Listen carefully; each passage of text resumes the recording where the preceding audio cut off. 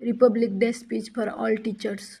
The Honorable Chief Guest of the day, respected principal, teachers, parents, and my all dear friends. This time we are celebrating 71th Republic Day of India. That is why we are gathering here.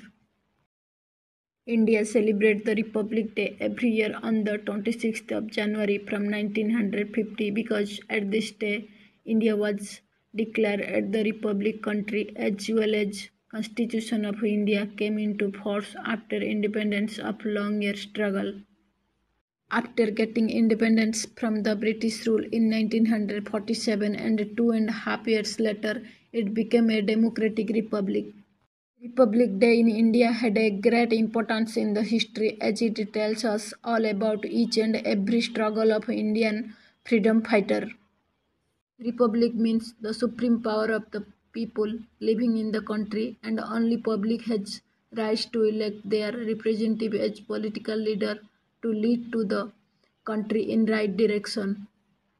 India is a republic country after 26th of January 1950 where public elect its leaders as a president, prime minister, etc.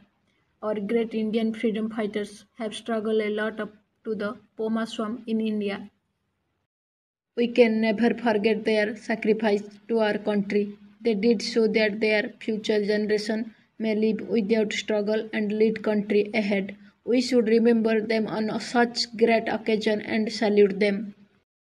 It has become possible just because of them that we can think from our own mind and live freely in our nation without anyone's force.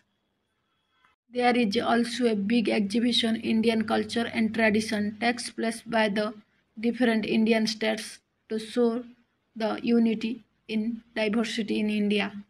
Before ending this speech, I would like to thank you all for giving me a chance to express my feelings about Republic Day and I am proud to be an Indian where we have all types of independence. Jai Hind, Jai Bharat.